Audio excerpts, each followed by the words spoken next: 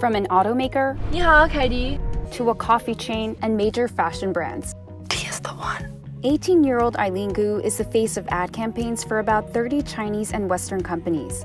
The US born freestyle skier has become an overnight sensation, winning her first gold medal while representing China at the Beijing Winter Olympics. She's quite possibly the biggest thing in sports, the biggest thing in the two biggest economies in the world. Gu's ability to cast herself as both Chinese and American has been a boon for companies, but that could also become tricky. It's incredibly difficult uh, to, to, to walk the fine, fine line between between the two sides. Yes, there's always going to be a risk uh, because of the, the political situation.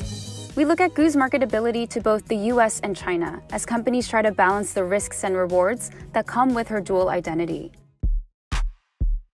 Here's why Gu checks many boxes for consumers in both countries. She's smart and will be attending Stanford University. Gu's not just a supermodel, but also a dominating force in her sport.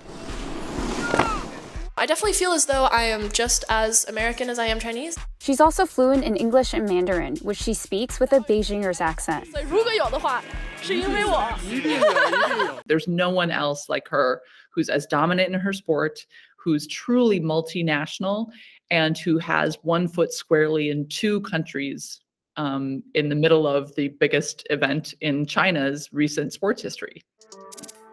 Born in San Francisco to an American father and a Chinese mother, Gu trained to ski in the US, but announced three years ago that she'd be competing for China.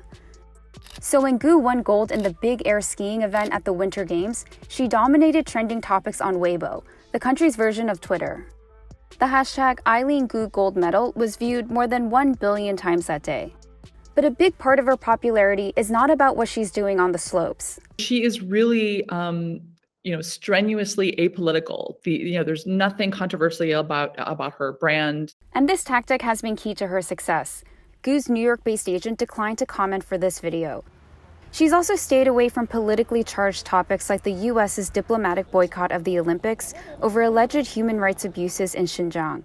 Beijing has defended its treatment of Uyghur Muslims there as an effort to combat extremism. when she's asked questions about you know controversial or, or sensitive issues she really doesn't answer them she um, responds that she wants to unify My mission is to use sport as a force for unity. she seems very aware that there's a risk to criticizing or be perceived as criticizing the chinese government or its its policies This has helped keep Gu's marketing power strong, but it's a double edged sword because if there's a misstep, that could put Gu's sponsors at risk. What the brands are doing is sticking as closely as possible to her sporting abilities.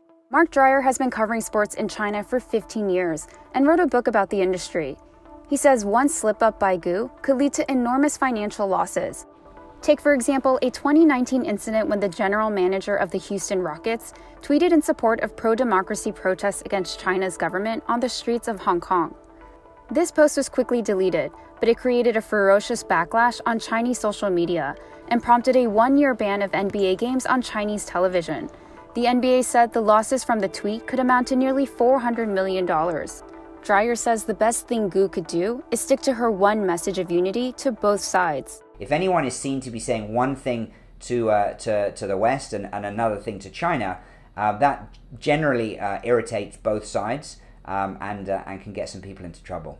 But Gu has faced some criticism for her lack of a political stance on issues. I do think that uh, if she can if she can keep winning competitions and stays on the top of her game, uh, that's the perfect way to to uh, sort of uh, shout down her critics.